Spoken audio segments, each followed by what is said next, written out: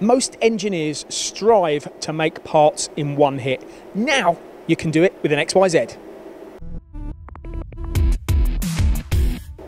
So what is this? Well, it's the XYZ SS65. Now, this is their first venture into uh, into selling a turning centre with a second spindle. Now, this has been in great demand from their customers, and they're now satisfying that with this SS model. You can see inside the machine we now have two spindles on an XYZ, which means you can make parts in one hit. How many times have you taken a part from machine A and put it onto machine B in order to finish it?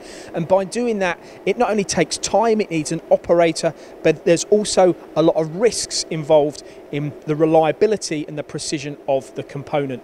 With a subspindle machine, you can machine parts in one hit. Now, this machine also has a y-axis on it, a plus or minus 50 mil y-axis, which gives you so many alternatives when it comes to programming parts. And not just the programming of parts, the complexity of the parts that you can manufacture.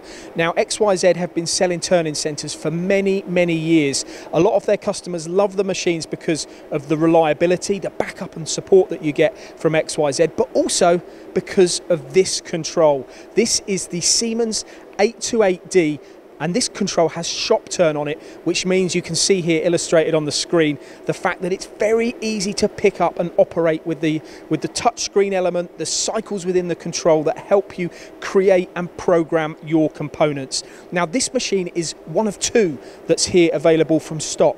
The machine comes with a tool setting arm uh, on the back and the front of the machine the front and the back of the machine so you can set uh, both tools on the uh, on the front uh, that are going to machine on the main spindle and also tools that are going to machine on the sub spindle.